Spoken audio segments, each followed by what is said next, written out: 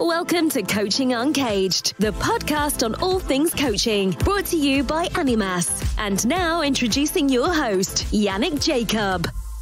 Simon Western, welcome to the podcast. Very nice to be here, Yannick. Thanks for the invitation. Uh, I should I should say welcome back to the podcast. It's uh, it's not often that we have two people coming back uh, just because there's so many interesting minds out there. Uh, but when I when I listened to uh, your your uh, interview with Rob uh, a couple of years ago now, mm-hmm. um, there was so many threads in there that I would have loved to pick you up on or go a little bit deeper. So if anybody listens to this, feel free to go back. Uh, you also tell a little bit of your story. Maybe just shortly, you have you had an illustrious career. Uh, you've worked with the dying. You've worked as a family therapist. Uh, you've worked in a lot of organizations. Uh, you're the uh, founder of the uh, what was it? The leadership, the Eco Leadership Institute. So there's a systemic angle that I really appreciate. Um, uh, Rob did one of your courses. My wife did one of your trainings as well, and really appreciated the the systemic lens, particularly around networks. Yeah. Um, and uh, you might help me out with it. You're the former president of the International Society for the Psychoanalytic Study of Organizations. Yeah, yeah, ISPSO. It's um, an international body, and uh, it's really bringing psychoanalytic uh, thinking and systemic thinking into organizations. And we have some of the kind of top scholars and practitioners in, in the field. So it's a, it's like a think tank for uh, for our work. So it's a mm-hmm. it's a great privilege to be um, president of uh, of that for a couple of years and I really enjoyed it. Yeah. Mm-hmm.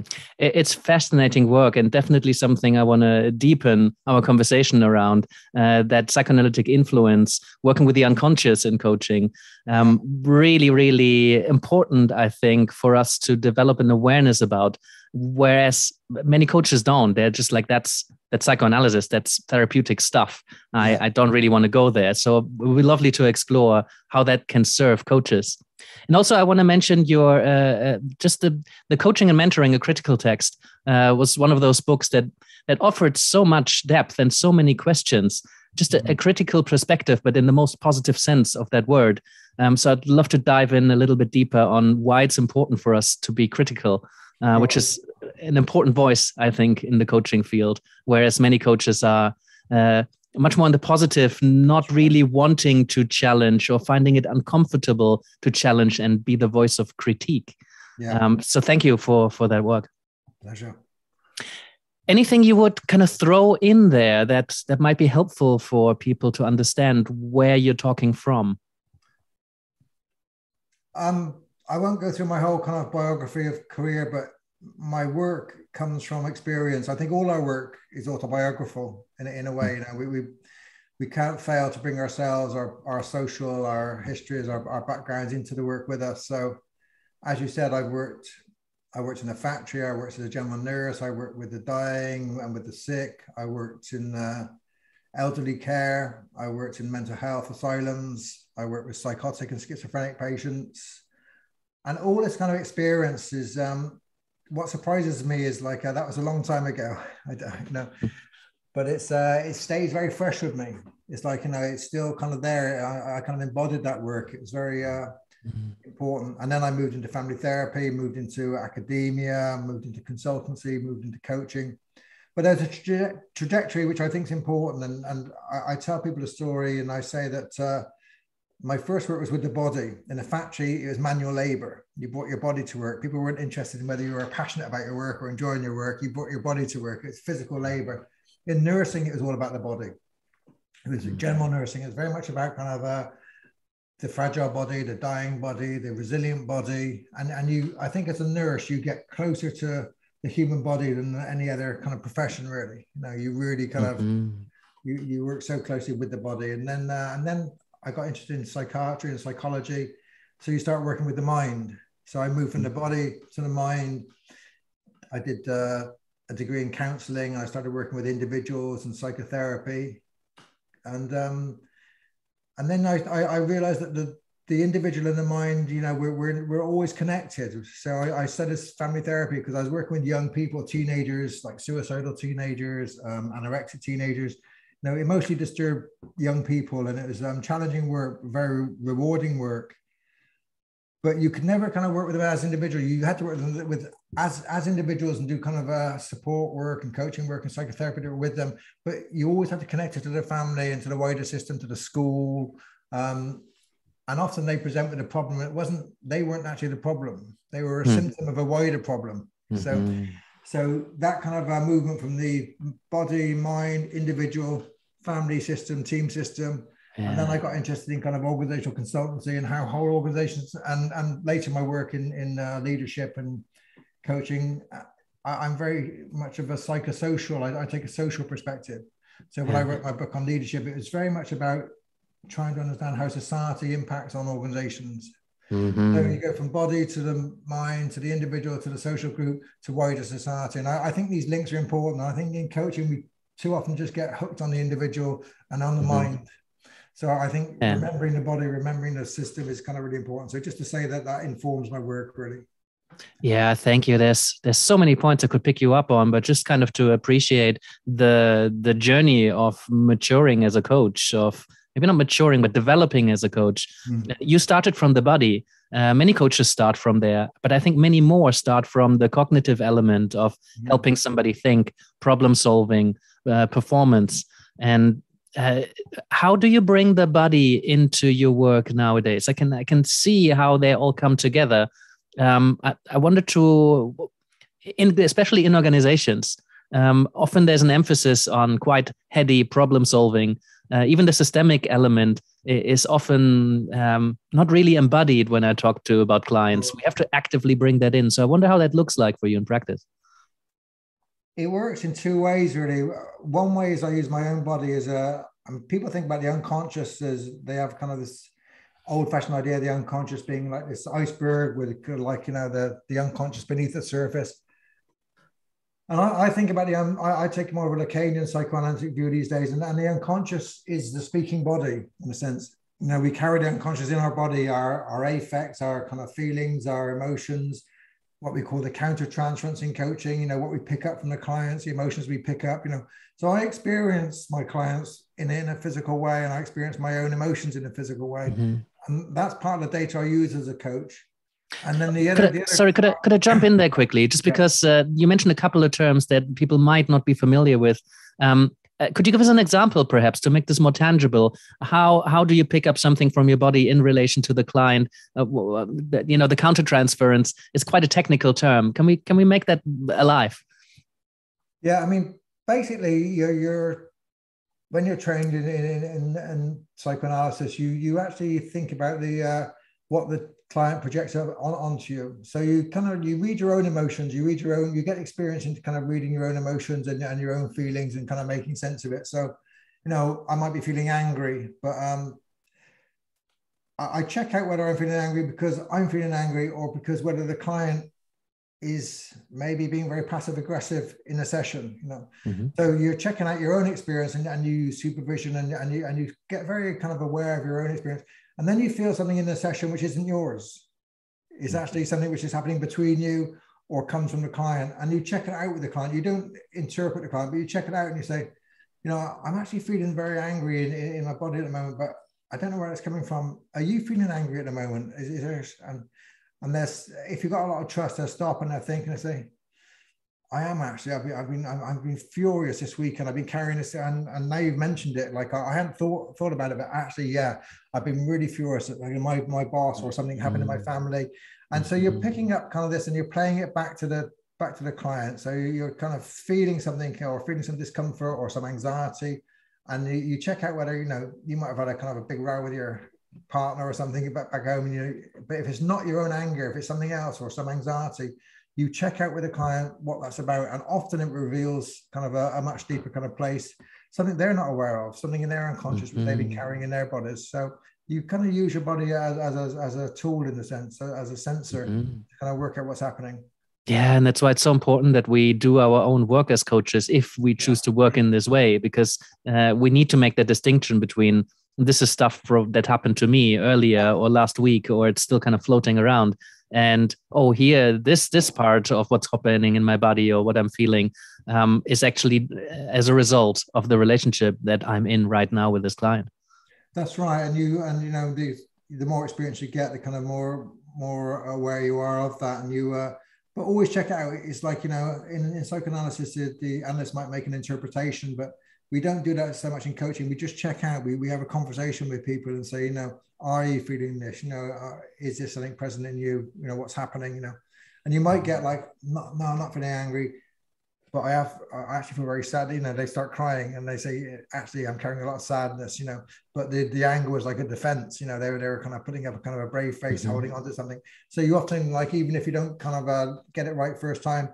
it's a way of exploring what's happening, and it kind of opens yeah. up and, and something for the client. Yeah, yeah, oh, that's great. Um, can we stay with psychoanalysis for a, a bit longer because. Uh, um, some people will know my my wife is a Lacanian psychoanalyst, and uh, she's yeah, she's she's emphasizing the Lacanian quite a lot, even though she's a big a big uh, fan of Freud's ideas because he's he's done so much for uh, explorers of the mind and understanding the human psyche. Um, but there are some distinctions, and while we don't need to get perhaps too technical, um, I would love you to speak a bit about how psychoanalysis influenced your work why Lacanian particularly, and perhaps going into how how can we work with the unconscious in coaching? Why why does it matter that we're aware of it, and how does that work? Big questions, I know. yeah, big questions. Where to start? I mean, I I started off um, becoming interested in psychoanalysis because it became very clear to me that rational explanations of the world weren't enough. You know, so like you know, you, you could actually observe unconscious processes in groups and in individuals. And when you become familiar with it like you, you know you observe it in yourself you know you, you've got a very stressful meeting uh, ahead of you and you forget the time of the meeting because you actually don't want to be there you know. So you, you start seeing your own patterns and your own repetitions in, in your life around things you've avoided or, or your defenses and you start learning about yourself. So i mean you know processing my own life you know i've, I've had kind of a i won't go into my personal life but i've had I've suffered great losses in my life, you know, sort of family mm. losses and things, and um, just how you process that, how you kind of uh, understand that, and what your unconscious does, you know. And, and to me, if, if it stays repressed, you you act out in different ways. So psychoanalysis is really kind of a, a way I think of, of working with things we're not always aware of and things we repress. And if we repress something in, in our lives, it's actually a, a weight we carry around with us and we can act out very dysfunctionally. You know, we, we can be avoiding that kind of uh, the pain we're holding or some of the issues we're carrying with us. Um, and, and as a coach, I think, you know, if you're going to do deep coaching work, you know, not all coaching work kind of works like this, but if you're going to do deep coaching work, you need to kind of um, have some access to the unconscious. You know, you have to have some access as, as to what's being repressed and some understanding of these, these kind of processes of projection, of countertransference, of what happens in that relationship between you and the client. So I don't know. I learned it as a therapist. I learned it in my own life, being on the couch. You know, I'm, I'm spending time in analysis uh, as a way of understanding myself. One of the challenges and one of the reasons why psychoanalysis is not so popular in coaching, I think, is because coaching often kind of veers towards the positive, um, and therapy often veers towards a patholo- pathologizing kind of stance. So in my coaching book, I write about the uh, the wounded self and the celebrated self. Mm-hmm. I love that terminology, by the way. And therapists often kind of like, you know, we're trained to pick up the wounded self. That's what we do. You know, we heal people. We kind of, you know, you're there to kind of uh, pick up the, the the wounds, the kind of their injuries, the repressions, and you're, you know, people come to you because they they're carrying some problem, some dysfunction, some something they're anxiety they're concerned about, something in their life they're not happy about so as a therapist, your, your job is to really kind of work with the wounded self and do reparation work, do healing work. Whereas a coach, it's a bit different. You might have to do some of that work, but you also want to be focusing on their strengths and their abilities and how they can. Mm. It's more of a developmental kind of role. So so you you have to do both. And uh, in analytic network coaching, our training, we start right at the beginning and say you have you know we bridge between the wounded self and a celebrated self. Mm-hmm. And I, I talk to, uh, you know, I attract quite a lot of therapists who've become coaches and they often kind of veer a bit too much on the wounded self. And I'm like, whoa, you know, breaks on. Look at the resilience in this client, look at the mm-hmm. strength in this client as well. Don't just go to the pathology. Don't just go to the, you know, so psychoanalysis is, is kind of, I, and, and I, I think problematic in that sense that it kind of often veers towards defenses and pathology. Mm-hmm. The nice thing, I, the, the, reason I got attracted to Lacan is because he's he talks a lot about enjoyment, about jouissance in French, mm-hmm. about pleasure, about desire, mm-hmm. and um, I'm not um, I'm not trained as an, a Lacanian analyst. Uh, but I'm interested and I read and I go to, I go to classes and uh, and uh, it's really transformed my work because it kind of uh, now now I look at situations in organizations and in clients and I'm thinking about how people enjoy not mm. just their defenses i'm thinking about kind of uh, their desires you know so in analytics network coaching one of our first questions in the depth analysis frame is what is your desire mm-hmm. and we start exploring this you know and and it's a very complicated question it's sort of uh clients look at you and what? so we you ask the question in those words. You, yeah, you asked yeah, them, yeah. "What is your desire?" Oh, wow. Not, I mean, not always. Like you know, you have to be culturally sensitive. Like you know, ah, yeah. But um, often, yeah, yeah. I mean, I, I, I kind of start at that place, you know, and and and they look at you bemused and they say, "What do you mean?" And I shrug and I look at them again, and and, they, and we start exploring that, and it's uh, and it becomes very interesting. You you know, and you return to it over over the sessions, and we think about like Lacan always says, our desires are always a desire of the other. You know, so we, we have parents in our lives who desire things for us. We have society who tells us we should be this or we should mm-hmm. be that. You know? Mm-hmm. So we're it's your relationship to desire rather than you're just you're you're carrying this kind of innate desire.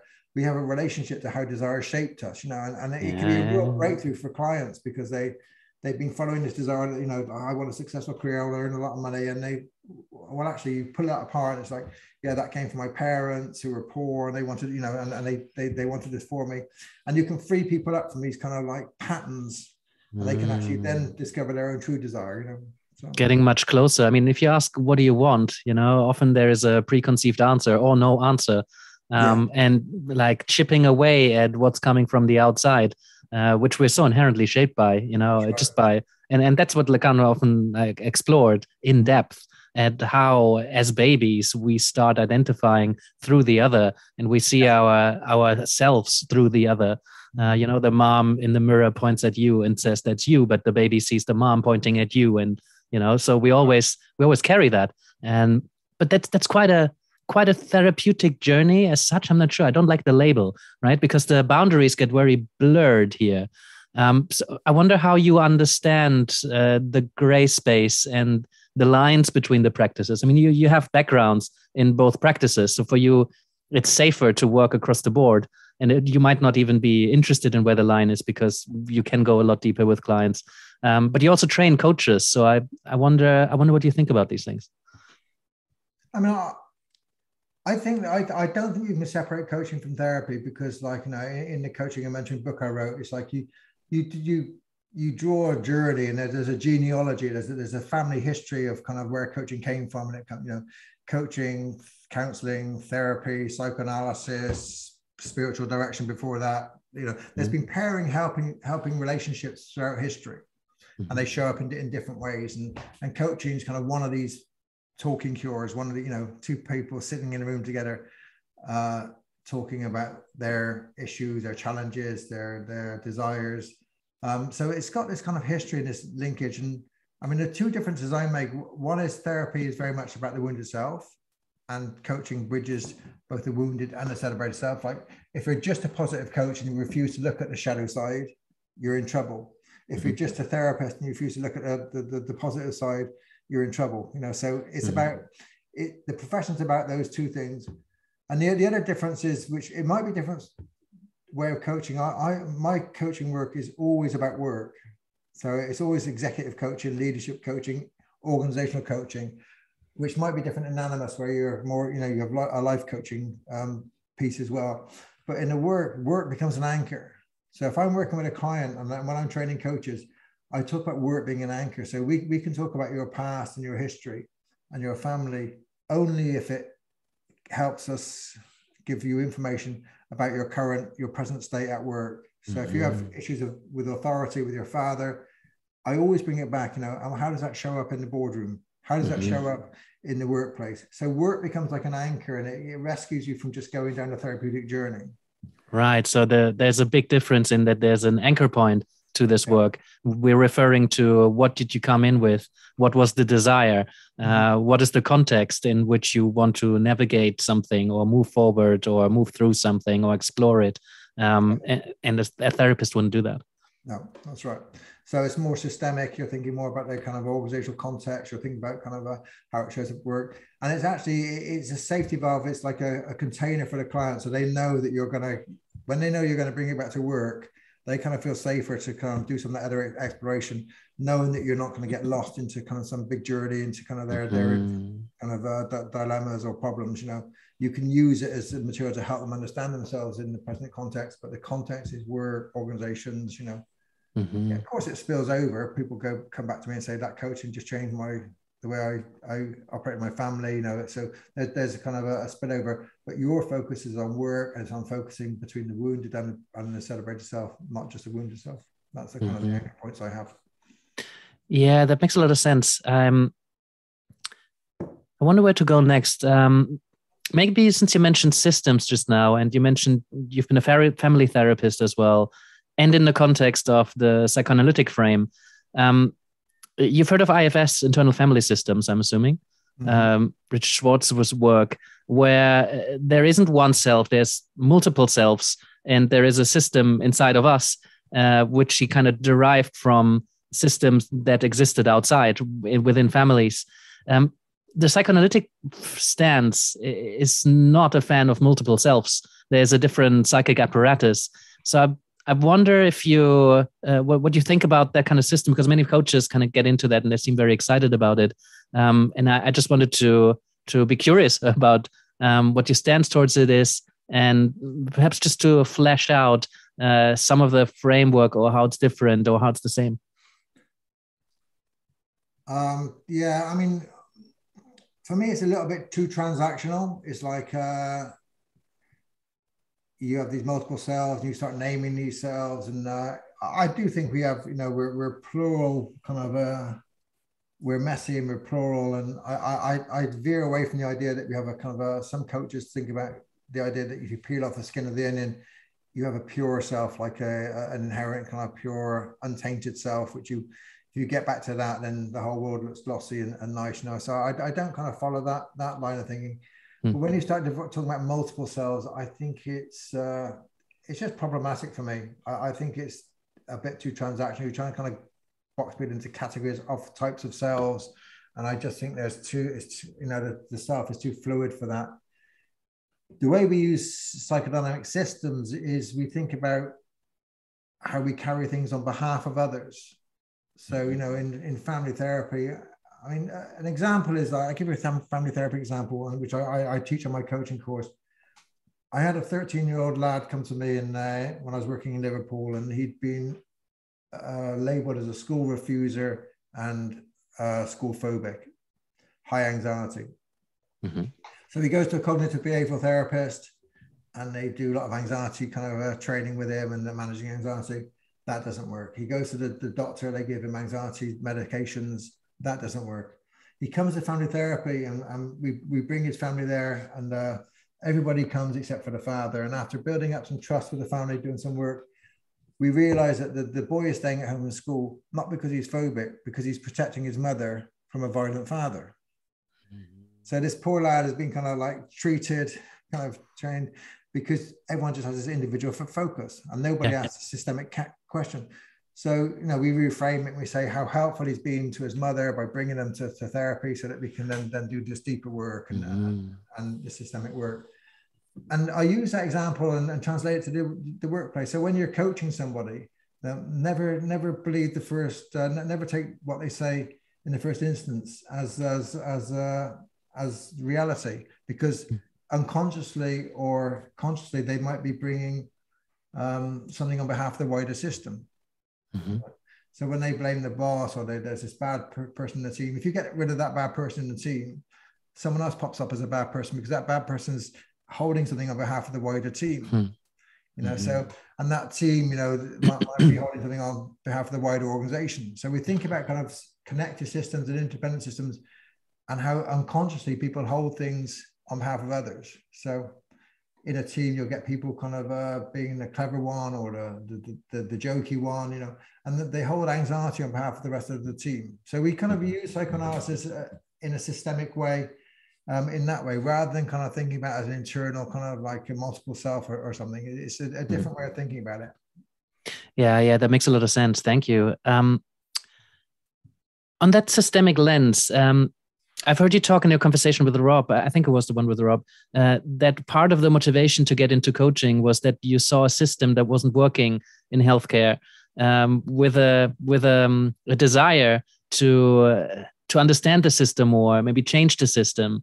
Um, eco leadership, you know, there's there's uh, there's big systemic issues that we're facing as a species at the moment. Yeah. And I know a lot of coaches uh, are super well intentioned and really want to make a difference, um, a systemic difference, working with people who might be able to make a systemic change or influence it in some way.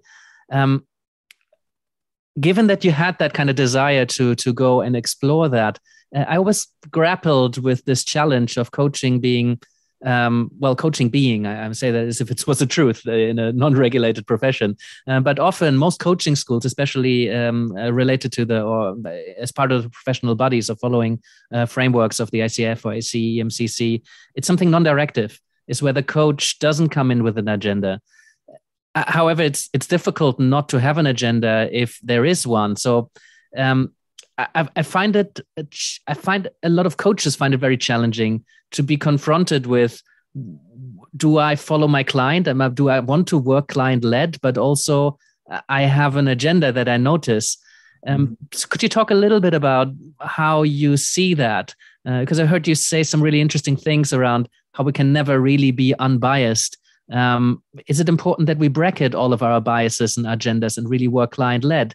or is it okay to come in and say i want to make a difference uh, around the topic of climate change and maybe i'm going to pick my clients very carefully or maybe even i'm going to try to convince a client to do the right thing here yeah i mean i, I think there's there's a few issues you're you're raising there and one i i, I argue very strongly that um, I hear coaches and therapists and psychologists and people saying we take a neutral stance or we take a systemic stance and we can't choose sides. And I'm like, there's no neutral stance. There's no such thing as a neutral stance. You know, forget that because you know that's kind of like oh, that was an old-fashioned way of thinking about science as well. People thought about science as Newtonian, and you you're, you're a neutral observer. You get into quantum physics, and people realize that you know just by observing you make a difference. You know, mm-hmm. so every one of us kind of makes a difference whether we're observing, whether we're coaching. You know, we're not neutral. No, I, I can't. My body speaks a lot. You know, I'm a white man. You know, I go into a room, it has an influence you know mm-hmm. the way I've my my accent, my regional accent from Bristol, my kind of you know class accent. People people people people kind of pick things up. You know my age, my ability. You know people kind of pick things up about you. You're not neutral. You know you're you're present. You know and then there's a whole training. You know the, like the whole idea of coaching is not neutral. It's like you know a Western idea of individualism around kind of like individual choice and freedom. There's there's a whole package of ideas around coaching the therapeutic culture kind of uh, which, which is part of it, which is not neutral. So if you go and coach Chinese people, which I have done, and you know people in different different cultures, then then you bump into kind of a difference, and you have to be aware of what you're bringing. You know, you're not you're not kind of just a blank sheet. So there's there's no neutrality, but that doesn't mean you have to come in with a kind of a strong opinion and say like you know we all must be kind of green or we all must be kind of uh, you know mm-hmm. there's no being aware of your biases, being aware of the social cultural kind of background you have, being aware of the way you've trained, being aware of your sort of uh, having that kind of self awareness is very helpful. You know, because then then you can dialogue with people about about that difference, and you can kind of uh, explore that, and, and that can help them explore their own identities, their own cultural kind of backgrounds, their own kind of belief systems. You know. Mm-hmm. So there's that part of it. There's there's no neutrality, you know, but it doesn't mean you have to kind of be kind of strongly opinioned or kind of directive. You know, I do, I do uh, believe that coaches have to take an ethical stance. I wrote a, an essay about the war in um, in uh, Ukraine, you know, and, and it went a bit viral because I, I, challenged psychologists and systemic thinkers to take a stance that you couldn't just kind of say we're neutral or we're systemic. You know, that this was a, a, a terrible, terrible kind of unnecessary war, and like you know, and, and the systemic repercussions of it are, are going to be immense, you know. Mm-hmm. But that mm-hmm. doesn't mean when you go into with a client, you're going to impose your views on them. You know, I mean, mm-hmm. I, I, see myself as a sort of anthropologist in an organization. I see myself as as a as a person who's very curious. You have to hold on to your curiosity. curiosity you know? mm-hmm but there are times you have to take an ethical stance you know outside your practice um, you know on my collegiate website we talk about kind of the environment is important you know, we, we can't ignore that you know it's no good kind of just doing one-to-one coaching burying our heads thinking we're kind of uh we're going to be okay because we're neutral that yeah that, the climate change is still going on you know we have to kind of like try and be aware of that and, and try and kind of work towards those, those goals so there, yeah. there's a balance but it doesn't mean you have to kind of push your views on another but I think we have to, have to take a, an, an, ethical stance and, and, be ethical beings and, and not kind of claim some neutrality and you know and uh, which we don't actually have. Yeah, I mean it's it's even more complicated because we're living in such a much more transparent world. Um, it was much easier uh, as a therapist, and many therapists are still very very careful not to show who they are outside in their work. Uh, you won't find them on social media or writing blog posts or doing podcasts um, because what they work with is what's being projected onto them. And I understand that way of working. You know, um, uh, uh, you cannot work with this position anymore as soon as you show up and you share your values and your beliefs and your perspective. Um, and that's also a very valuable way of working. So I don't think there's a necessarily a better or worse one, but it's just a very different way of working and increasingly difficult not to be seen um, with your human elements you know can't just be this neutral blank canvas you that... never were uh, there's a there's a there's a i think there's a, a mystery and a mystique about it i mean freud kind of sat behind the couch to try and create this neutral thing but you know he was a kind of a powerful man in vienna and it's no wonder he got a lot of projections about the father you know it's not it's, mm-hmm. it's not you know it's it, there is there is no neutrality and, and you can certainly uh, attempt to be a, as much of a blank screen as you, as you want but you know, the whole practice, you know, in New York, the whole practice of kind of psychoanalysis is kind of like, you know, it's it's elitist, it's esteemed, you know, it, you have to kind of have enough money to go four times a week on the couch. To, there's a whole kind of package around it, which actually says, actually, this is not a kind of a, a, neutral practice. This is an elite practice. It has a certain way of being. It's kind of uh, controlled by certain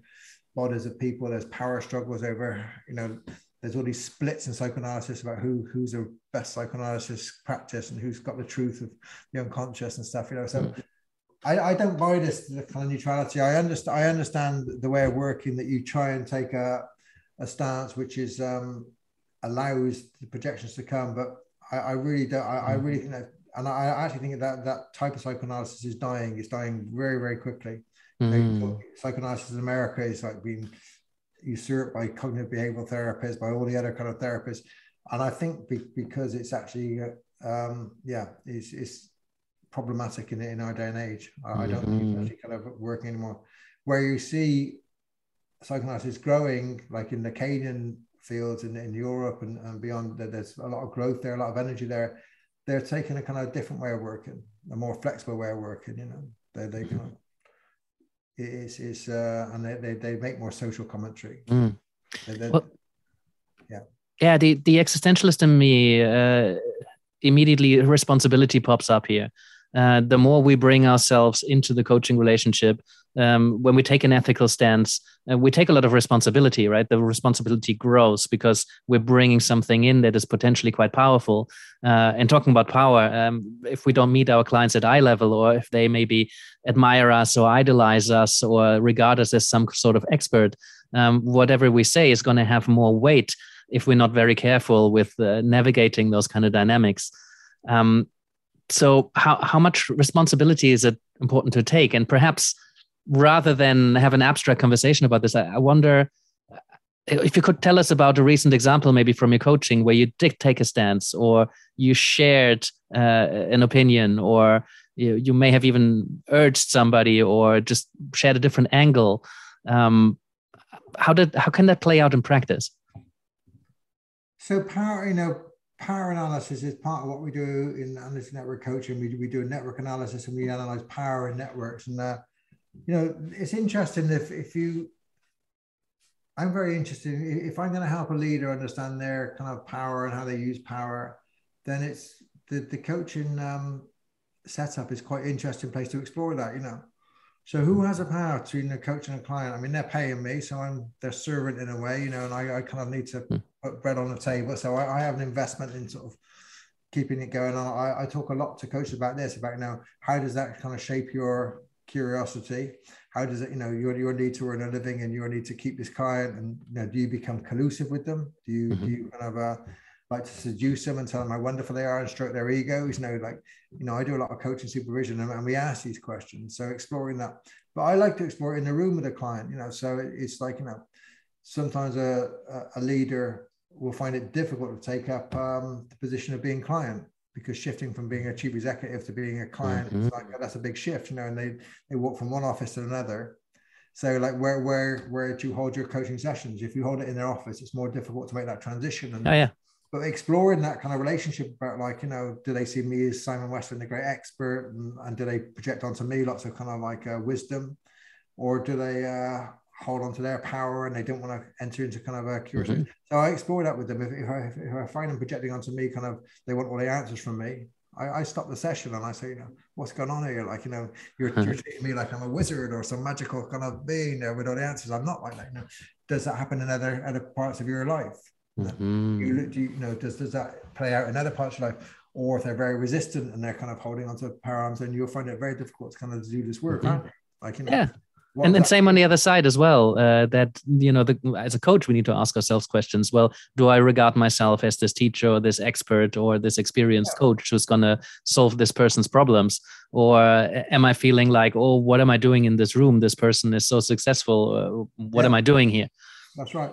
So, and, and having that conversation in supervision and in the coaching session, if you can actually be brave enough to have it in the coaching session, you get some very great results because it's like, uh, you, you know, I've shared with clients, I, I said with clients, like, you know, it's, it's interesting. The last three clients, I've been kind of very confident stuff with you. I get anxious coming here. And I, I mm. know, I know it's because you're, you know, you're a powerful person and you, have been running this company for a, a long time. And, and I think, I think that this, this kind of uh, experience I'm having is probably the same as a lot of your team members. And I don't think you're they're, they're telling you what's really going on in your organization because they, mm-hmm. they're telling you what you want to hear want to hear hear what's being said. You know, they they, they they're thinking it through to try and please you. So like you can use that experience, but you have to kind of be self-aware enough enough to do it. So exploring mm-hmm. the power dynamic in the in the room, I, I think is very helpful. And so that's oh, like yeah. one way I, I kind of use it. Yeah, I, I talked to Robin Shohet a um, couple of couple of months ago, um, who's working with that a lot, and he doesn't even find it to be courageous anymore to mm-hmm. share what he's picking up in the relationship or what's going on in his body or how he's feeling, and just bringing that into space. Because it can feel to many coaches, especially when they're starting out, it can feel very daunting to sit with somebody and just share how you feel or something that's come up for you or something you observed in this relationship and how we're relating to each other power dynamics especially. And it is. I mean you you know we shouldn't pretend it's easy. Like it takes many years of experience i, I think to do it confidently and, and to sort of uh, you know i mean a lot, a lot of coaches are trained as well to sort of carry around with them a coaching toolbox and, and like when they get anxious they jump into the coaching toolbox and pull out the, the next tool like you know say Let, us let's do this and let, let's do that as a way of showing their expertise as a way of kind of uh, validating themselves because they're you know they're, they're keen to show that they're they're worth the money you're paying them you know it's kind of there's this there's a whole industry around it there's a whole industry around coaching tools which kind of fit in the space in the yeah. kind of view it's like an objet petit a so it covers a gap it covers where the anxiety is now if you can stay mm. with the gap and do that work and, and understand kind of what, what that anxiety is about between you and the client, it's a much richer kind of conversation. On that note, do you do you use any tools? Um, because I, I, there seems to be some methodology behind the the analytic uh, network practice that you that you train coaches in. Um, it couldn't be called a tool, but also it could be. So I, I wonder if there's uh, if there's any tools that you use, and perhaps uh, as a good segue into uh, what is that that approach that you're taking when you work with people? Yeah, so I mean, it's interesting. I, I, started training coaches in in Lancaster. I was made director of coaching at Lancaster University, and uh, I started doing it without a methodology, trying to share my own experience as a coach, and uh, and designed a course, and uh, and it was it was good. It was useful, and we did some useful work. But I realized pretty soon that people do need some frameworks to hang things on. Mm. You know, it, it is actually quite helpful. So being somebody who's against tools and against frameworks, it's quite difficult. But I did, I, I, I have designed a sort of a, a five frame way of working where we work through uh, depth analysis, where we look at the um, the uh, inner self around kind of uh, your purpose, your desire. What is your desire? What is your purpose? You know, so some kind of deep individual work. We move to relational analysis where we think about kind of the outer self, about how you relate to others, how they relate to you, how they shape your life. Um, and, and that's kind of a, a kind of a, a, relational piece of work. We then do leadership analysis, and, and for leadership analysis, I, I do have a questionnaire, like a profiling tool, based on my book, um, which I use. And it's not it's not a psychometric, and it's um, it, it's designed in particularly not to give you answers about yourself, but to kind of pose questions. So it's a heuristic tool. It's a way of kind of uh, opening up a conversation and mm. sharing a language for that conversation. It's very much like, you know, this is not kind of uh, telling you what kind of leader you are. It's about asking you questions about kind of your mm. perceptions around leadership. It's trying to kind of open up this dialogue. Um, so we use that. Uh, hold on, just I just wanted to jump in there because I think it's such an important point. Um, because I had the same, I have lots of conversations around psychometrics and questionnaires and how they're being used in coaching. I think, in my experience, the best way to use them is as a start to a conversation. Yeah. Um, and I think when they're used very badly, eh, they box people into categories and yeah. they're not presented very well. So I think it's just, it can be so helpful to work with a set of questions when they are start to a conversation that helps somebody think about what kind of leader they are or how confident they are how much meaning they have in their lives how happy they are whatever the questionnaire is about there's a questionnaire for everything. And yeah. it's wonderful to use in coaching if you use it well. Yeah and it has to be used like that. And you know like i i uh, i don't use any psychometrics. I use this this profiling tool. And it's one of the reasons i use it is because of the book i wrote on on leadership talked about four discourses of leadership controller therapist, messiah, and eco leadership over the past century. It's like my PhD research kind of showed up these four ways of thinking about leadership. And what I find is if you just talk about leadership directly, people have very, they have hidden assumptions around what leadership is. So they assume Nelson Mandela was a good leader. They assume, you know, Gandhi was a good leader. We have the kind of these, these ideas of charismatic messiah leaders. And I try and disrupt that idea about leadership. So it's like trying to broaden uh, their thinking about leadership and this profiling tool is a way of doing that. They get a report and it says like, you know, you're not kind of just this or that. Your perceptions of leadership are all these four. They're always got the four in there, different weights to, to different kind of categories, and then we explore kind of uh, where that came from, what that's about, and it just gives a, a, a nice kind of way into, into kind of disrupting that idea of messiah top-down leadership and thinking about leadership differently. So that, that's kind of why I use that so we have the we have the three frames, and then we go into network analysis, which is really exploring kind of networks and systems of, kind of uh, how they influence you, how you can influence them, how change really takes place, power in systems. Um, so we take coaching away from the individual. We go through this kind of inner self, outer self, relational self, leadership, and then we think about the, uh, the client and the systems they work in. And then we develop a strategic frame where we think about strategies for personal development mm-hmm. and for changing kind of the work. So there's a framework there, but I always say to my coaches, like like last night I was running a coaching session and people saying, but isn't that a bit prescriptive? And I'm like, it's not prescriptive because you you can work with these frames, you can work through these frames in, in kind of a sequential way, or you can carry these frames behind you. Mm-hmm. And what they do, they, mm-hmm. they're, they're like an inner supervisor. Mm-hmm. They, they stop you just getting trapped in one frame. You might be just you might be very kind of uh, fond of the depth analysis frame. A lot of coaches are. They like to go to the soul guide coaching to kind of do, do that deep work. But you need the relational stuff. You need to kind of think about mm-hmm. power and leadership and authority. You need to think about networks and systems, particularly in the workplace where I work. You know, so it gives it kind of broadens the, the coach's repertoire uh, capacity to kind of work mm-hmm. in, in, different ways, rather than saying like you have to follow this tool or this methodology. Like you know, it's, it's a way of just to kind of educating coaches beyond the individual kind of uh, behavioral kind of performance approaches. Yeah, so there's a framework or a methodology or some tool, even uh, even something like the Grow model uh, can be so internalized that it's operating in the background, and yeah. what happens in the coaching session feels like a very fluid, human, flowing conversation. Yeah. Um, but actually, you were you get curious about things that you hear or don't hear about based on what's in the back of your head and you get trapped in like you know you get trapped in ways of being so you get trapped in uh, unless you kind of uh, reflect on like these things pull you out of uh, like a, a like a grow model would be goal focused or target focused. It pulls you out of that and, and, and gives you a different kind of a way way into the, the kind of systemic work. You know, like we never mm-hmm. start with targets or goals. Like this kind of not not what we do. I, I try and get people to kind of hesitate from that and ex- and, and do kind of um, some exploration first before they get to go towards strategizing kind of where they want to go. So it's a kind of diff- different way of thinking, but you uh, unless you kind of do the work around relational or around kind of leadership, you know, you you will get kind of uh, trapped in just a cognitive behavioral kind of way of mm-hmm. performance way because that's that's how you got trained. So it's just broadening mm-hmm. kind of the the, the uh, what I think coaching is. Yeah. And then uh, in practice, how do you explore those networks, uh, those systems that people are in, often uh, nested, well, often always nested systems, but like uh, there seems to be something quite concrete around, well, who are the people that are important, who are stakeholders? Know I'm going to talk to Peter Hawkins, I think, in a couple of weeks. Uh, he always creates a mind map of stakeholders or brings them into empty chairs in the coaching room. Uh, I wonder how, how you do that kind of work to develop this systemic awareness? So in my coach training, we we try and broaden people's idea around systems and networks. Now we work we live in a network society. So I, I do a theoretical kind of talk around the network society, the digital age, how the ecosystems we live and work in are made up of people, technology, and the environment. so I try and expand people's kind of uh, views beyond the stakeholder map, for example.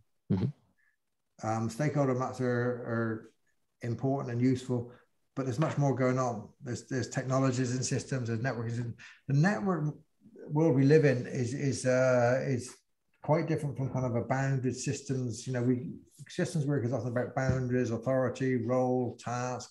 It's often about kind of groups, but networks are kind of more fluid and more kind of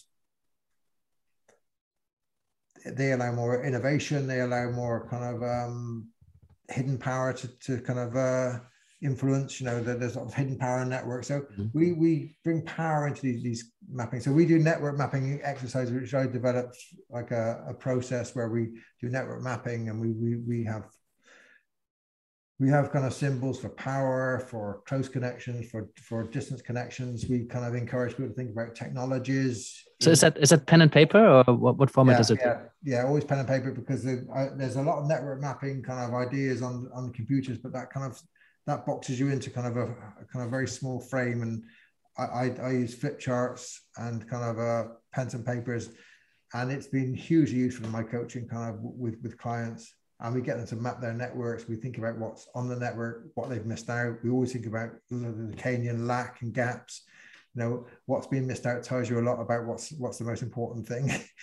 oh, know? can, can you give us an example in there Yeah, I, I, I did network mapping with um, about 50 teachers, and it was really interesting. I was doing a three day workshop on leadership with them, and uh, we, we did a network mapping as part of that and they all had their politics in there and they were mapping their we map not just people we map institutions so they had the kind of regulation bodies and they had the headmaster and they had the, the board of directors and they, they did all this fantastic mapping and only three out of 50 had put students on there mm-hmm. so you know we started you know wow well, what's lacking and they got so caught up in the politics and the leadership stuff that they, they'd forgotten the kind of the most important kind of element which is teachers so so lack really shows off, shows up as a kind of and the way people draw maps there's often kind of like i, I did one uh, the other day with somebody and i said it's really really interesting. It's, this map is so busy in that, that aspect and so busy there you know but there's a huge kind of empty piece of paper there. There's a huge lack and gap there. You know what's that about and that led led this person on to really start thinking about kind of what they desire for themselves. We went back to depth knowledge, what do they desire,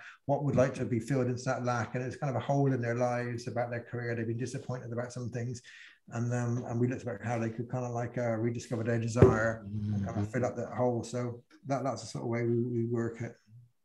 Oh, wow, thank you. Uh, I'm sure we could go a lot of lot deeper on that. In the interest of time, I, I do still want to talk about transformation with you, uh, and in the context of everything you've just said.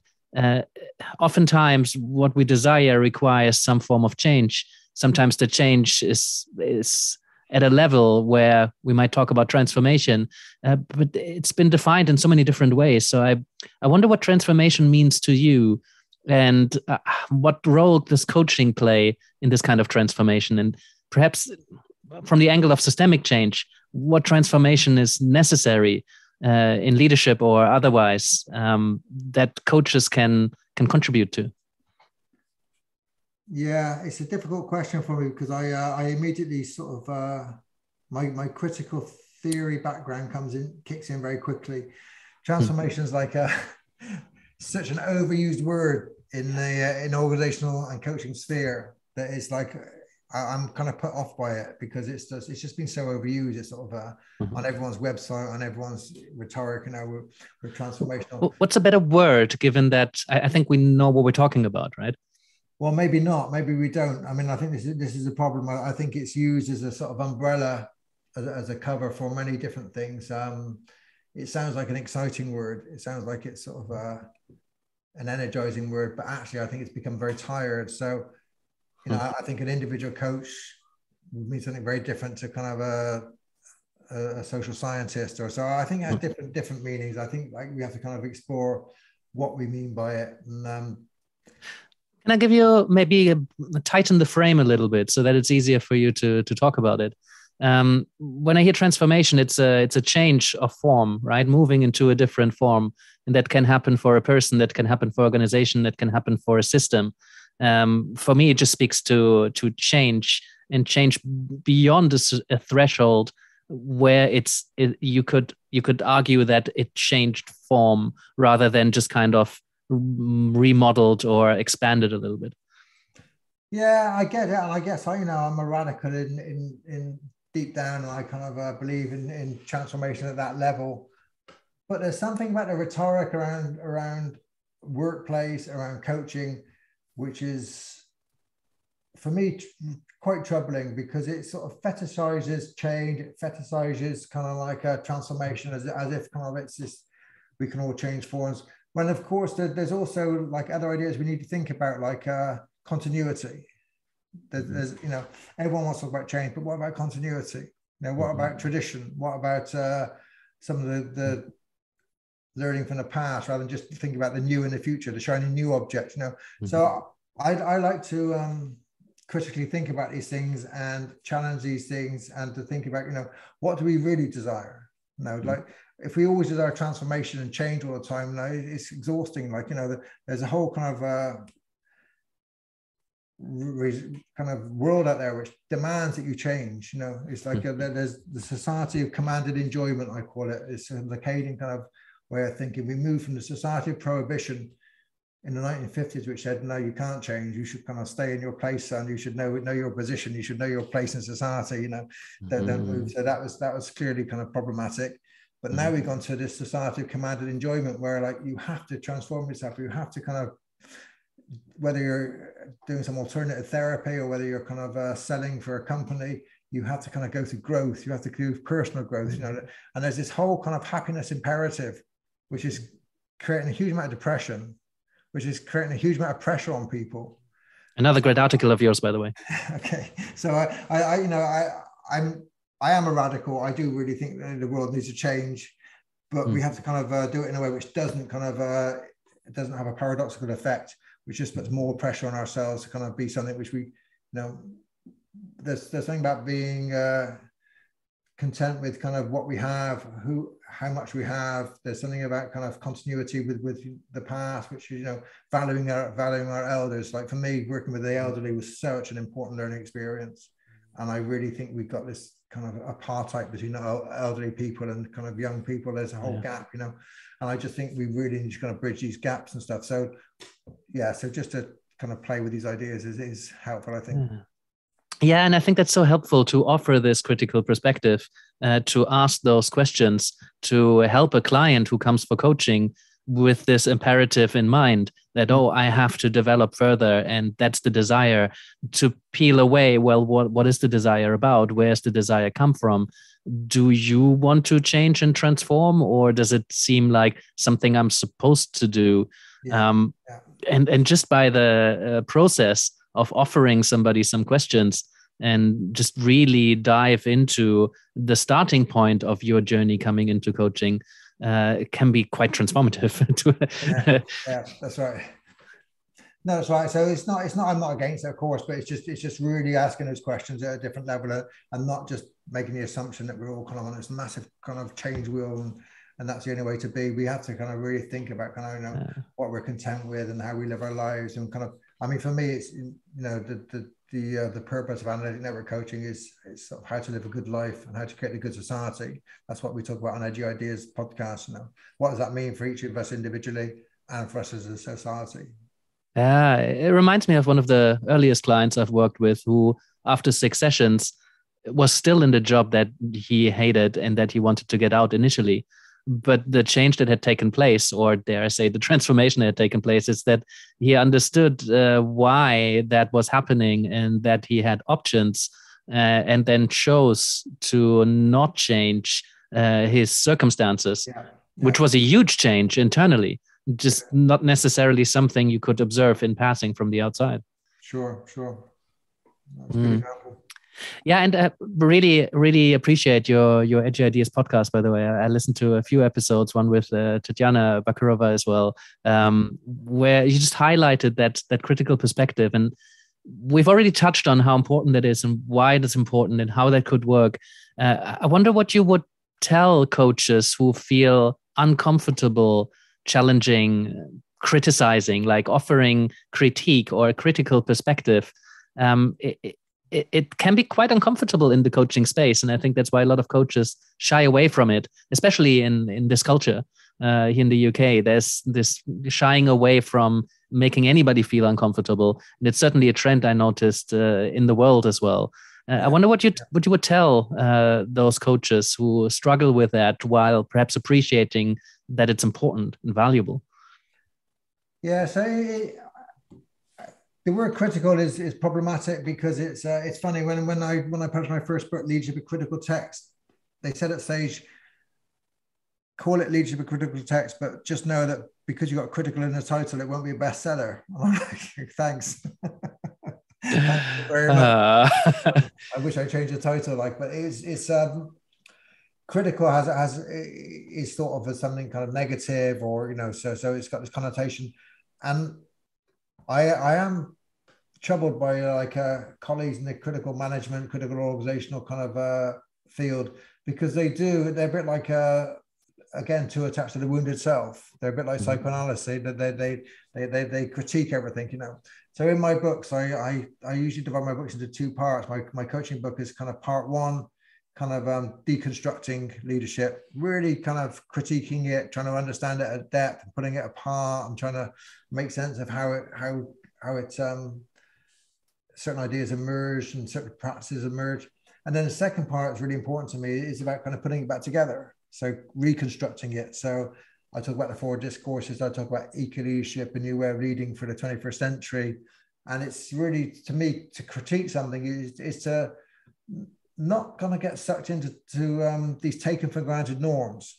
You know, you mm-hmm. question kind of like you question what what uh, you have kind of a questioning and a curious mind, and you and you don't just question it from kind of a, an individualist perspective. You bring power into it, and you kind of try to understand what's really going on. You know, so we we talk about we go what is going on, and we go what is really going on. You know, it's like this depth perspective, and psychoanalysis is a part of that looking around, looking differently at something is a part of that. Systemic power analysis is part of that, you know. But as a coach, I mean, for me, to do the work, I, I we in our field we talk about the work, you know, psychology field we talk about doing the work, and the work is is about kind of um, being challenging, about about really helping somebody through sort of uh, critiquing themselves and, and understanding kind of uh, how they got got into a place and it's always something to do with systems. It's always something to do with power relationships you know? Mm-hmm. and it, it, it's like you know it's it's just it, that is the work. It's like you know to, to, to do that work. And when you start doing that work with a client they realize that they're doing some work and they and they want you to kind of continue that work. You know it's like uh, it's very different from kind of band-aid coaching or kind of just making someone feel better give them nice positive strokes you suddenly get into a whole different kind of uh, way of being with them and you realize mm-hmm. that something special is happening here and something important is happening here yeah thank you as we're moving towards the end of this, I, I have an edgy topic that I'd love to uh, to see if you've had a stance on it, or if you know about it. Um, you may or may not be aware of uh, the the psychedelic renaissance. Uh, lots of research into psychedelics has reemerged uh, about what 10, 15 years ago now, um, in its application in therapy. Given that you talk about the unconscious, you work with that. Um, psychedelics are uh, an incredibly powerful way to reveal the mind, to tap into the unconscious, to uh, get people facing stuff that they hadn't faced for a long time or kind of buried somewhere in the corner. Um, I wonder if you've come across that kind of stuff, if you have a position towards it, just because the potential and the application in coaching seems seems enormous, and we're only just starting to explore the links between well-being and psychedelics, coaching and psychedelics. But so many people seek psychedelic experiences for growth, learning, insight, not just to treat and heal and fix things, uh, not just the wound itself, but also to navigate forward and create ideas, be creative. Um, so yeah, I just wondered wondered about um, whether you've heard of it or whether you have a position. Um, yeah, I follow these things, so I, kind of uh, I follow trends in society and like uh, psychedelics and um,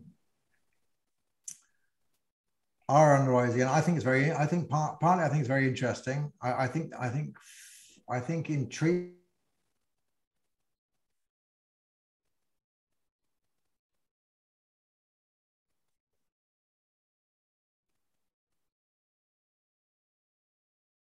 so is terrifying. Sorry, sorry, Simon, you you were cutting out for a moment. Um, could you just start over? Yeah, I missed about the last fifteen seconds. Yeah. Okay. So psychedelics, uh, they've been around for a long time. They've been um, in traditional societies for many many years. So I think we need to kind of uh, pull this apart.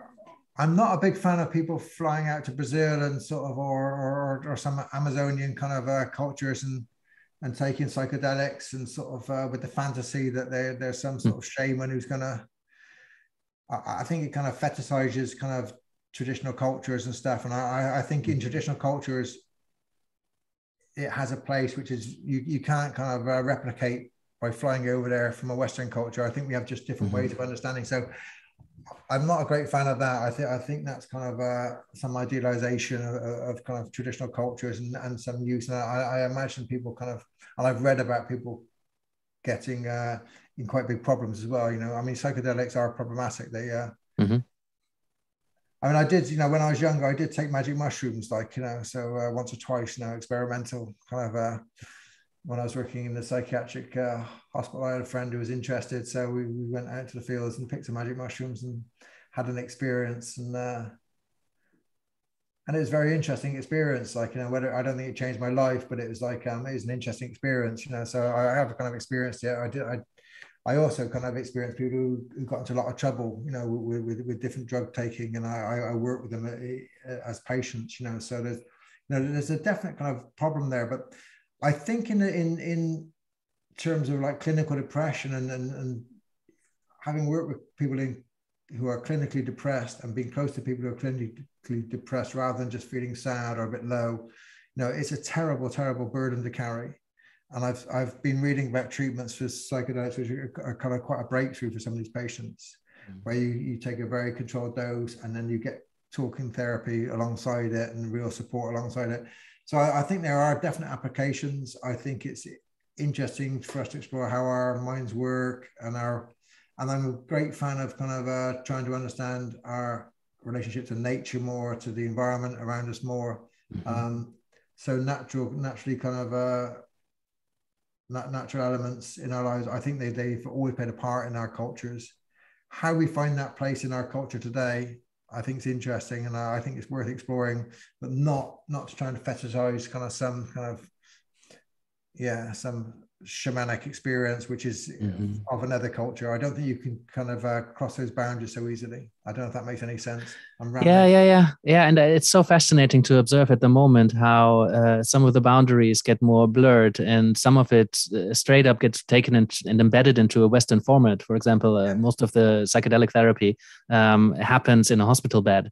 You know, mm. they they try to make it a bit more comfy and cozy and kind of dim the lights and bring some decorations in. But essentially, it's a hospital bed yeah. uh, with two therapists next to your bed. It's a very different experience than you know going out into the woods with a friend. Yeah. Um, and all the retreat centers that are popping up in uh, in places where it's legal, in Amsterdam, uh, around the Netherlands. Um, it, it's quite interesting to see how it's being uh, opened up to the desire of people to grow without necessarily diving deep into their pain you know because maybe the pain just isn't really there. Um, but they're looking for a breakthrough in where they take their life or their business. Um, yeah or they're looking for a shortcut kind of without doing the kind of the real work which is needed to kind of develop yourself. So i mean mm-hmm. there's there's all and there's there's people who uh, administer these these treatments or these experiences and some I mean, we do know that people like to have power over other people, you know, therapists, counselors, coaches. Um, that there's a that there's a group of people who who um, maybe are doing this work which who shouldn't be as well. So there's, there's oh, lots, yeah. of, lots of questions around it. Um, but I'm certainly not kind of a blanket against it. I think it's very interesting, and I, and I do think that there's kind of uh, areas to explore, and I, I think uh, we, we, should try and do it in a kind of responsible kind of uh, way. But absolutely, yeah. Yeah. Yeah, and I appreciate that the conversations are now more out in the open, and I think uh, the having the science to actually as a way into exploring this uh, really opens something up because uh, they're not just immediately oh these are tripping hippies uh, who are into psychedelics, but they are serious, serious scientists who explore the potential of what it can offer to human growth and development, um, and also to you know healing and uh, treating disorders. So interesting to have the conversations out. Yeah. Uh, when we are on episode 12 of uh, talking about coaching and psychedelics now. Uh, so it's it's nice to see to see the field expand. Uh, thank you. Thank you for your take on it. Uh, simon thank you for your time. Is there is there something else you wanted to tell coaches out there? Maybe encourage them to do uh, more of less of differently? Um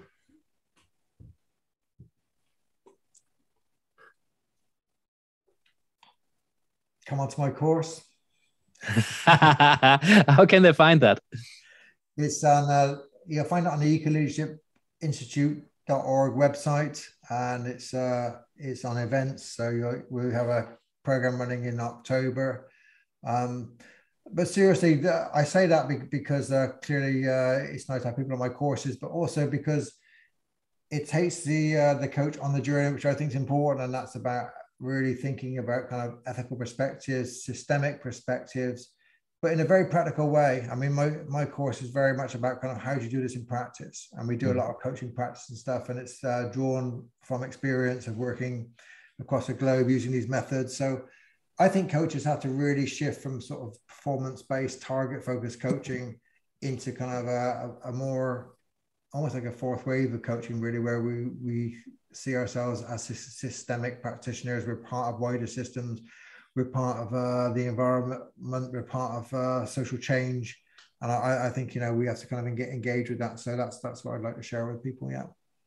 Fantastic, Simon. Thank you so much. Uh, Lovely conversation, Yannick. Thank you for having me. I appreciate it. Well, see you again. Ciao. Bye bye. Thanks for listening to Coaching Uncaged. If you want to find out more about becoming a coach, developing your coaching skills further, or training as a coaching supervisor, then head along to animascoaching.com. Thanks again and catch you on the next episode.